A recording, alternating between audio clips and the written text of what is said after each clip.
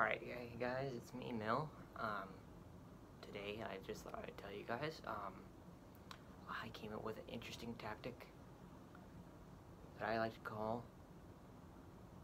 defense against the world.